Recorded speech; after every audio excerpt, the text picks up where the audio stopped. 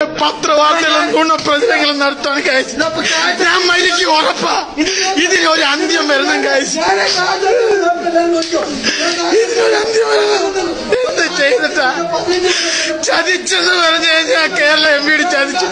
അക്ഷരം പോലും M P ഡിക്കെതിരെ സംസാരിക്കാത്ത ഒരു വ്യക്തി അജാജുവറ്റ് അജിയനും ഒരു അക്ഷരം പോലും ഞങ്ങൾക്കെതിരെ പത്രക്കാരോട് വിളിച്ചു പറയുന്ന കേട്ട ഞെട്ടിപ്പോകും.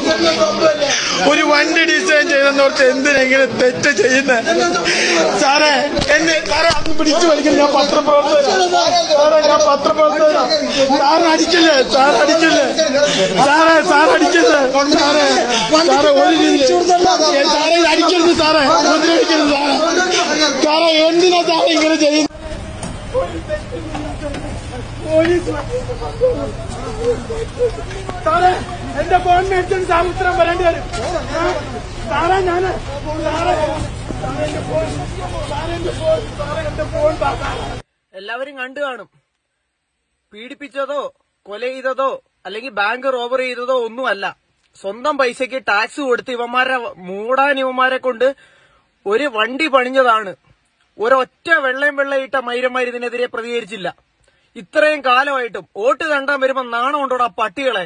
നീയൊക്കെ ഞങ്ങളുടെ പൈസയ്ക്ക് വിലസി നടക്കുമ്പോ ഇവന്മാരെ പോലുള്ളവന്മാരെ സത്യം പറഞ്ഞാൽ ഇപ്പൊ കേരള ഗവൺമെന്റിന്റെ ഗുണ്ടകളാണ് പോലീസുകാരും എം വി ഡിയും. ബക്കറ്റ് പിരിവ് നടത്താൻ നിൽക്കുന്ന പിരിവുകാരും. നാണമുണ്ടോ നിങ്ങൾക്കൊക്കെ?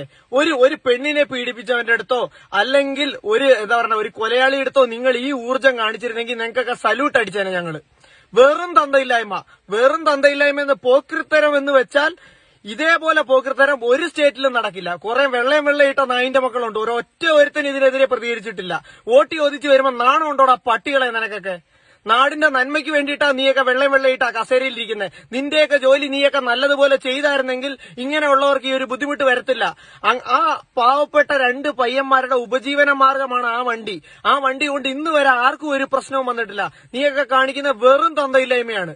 ഇതിന് എല്ലാ വണ്ടി ഭ്രാന്തന്മാരും ഒരുമിച്ച് നിൽക്കണം. ഇനി ഇങ്ങനെ ഒരു പ്രശ്നം ആർക്കും വരരുത്. ഇത് ഒരു പ്രശ്നമായിട്ട് തന്നെ കാണണം. എം ഓഫീസ് ആ എം ഓഫീസിൽ എന്താണ് നടന്നതെന്ന് എല്ലാവരും അറിയണം. മാക്സിമം ഷെയർ ചെയ്യുക. ഒരു കാരണവശാലും ഇവമാരെ വെറുതെ വിടരുത്. ഇവമാർ എന്തിനാ ഈ രണ്ടുപേരെ അടിക്കുന്നത് ഇവമാര് കൊലയാളികളോ അല്ലെങ്കിൽ വേറെ ഒന്നുമല്ല. വെറും തണ്ടിത്തരം ഈ പോലീസുകാർക്കെതിരെയും ഈ എം വിഡിക്കെതിരെ നടപടി എടുക്കുന്നിടം വരെ ഇതിനൊരു പ്രശ്നം ഇതിനൊരു തീരുമാനം ഉണ്ടാവുന്നിടം വരെ എല്ലാവരും പ്രതികരിക്കണം. ആരും മാറി നിൽക്കരുത്. ഒരു വണ്ടിപ്രാന്തൻ എന്ന നിലയിൽ എനിക്ക് എന്തൊക്കെ ചെയ്യാൻ പറ്റുമോ അതിന്റെ മാക്സിമം ഞാൻ ഇവരെ സപ്പോർട്ട് ചെയ്യും.